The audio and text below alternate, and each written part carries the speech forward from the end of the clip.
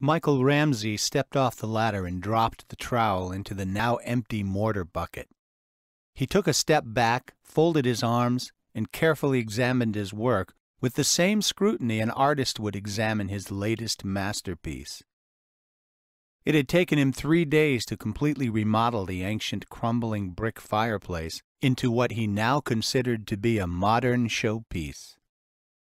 Gone was the ugly faced red and orange layered brick that had been there when he and James, his fiancée, bought the house two months prior, replaced by an elaborate pattern of deep brown sponge stained rock tile.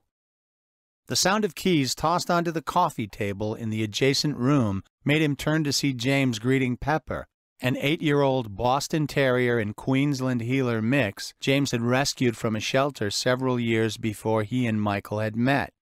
Who's a good girl? James said as he knelt and pulled Pepper close to him. Me, pick me, Michael called jokingly.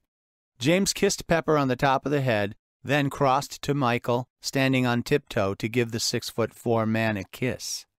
How was your flight? Michael asked. Fine, except for the kid screaming half of the flight in the seat behind me. I'm going to go put my bag in the bedroom. He began to leave. Michael let out a high pitched noise somewhere between shock and hurt.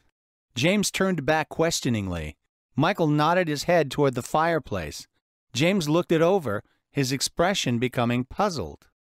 The original fireplace, built in the middle of the living room wall, had been four feet wide and sat two feet off the floor with a flat front, broken mantel, and no hearth below.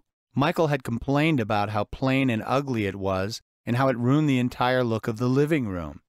While the hole was still the same size, the decorative stone around it now extended out three feet on each side and rose up to the ceiling.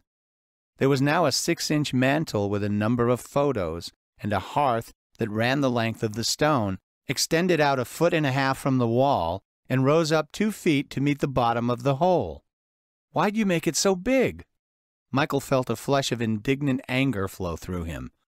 Because it's the fucking centerpiece of the room, he snapped. James turned quickly, his expression instantly apologetic. I'm sorry, that came out wrong. It's beautiful. I was just a little surprised. I'm just trying to make the house look nice, Michael pouted.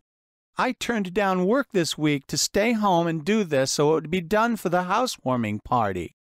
And it looks fabulous, James said with an edge of exasperation in his voice. Thank you. Was that so hard?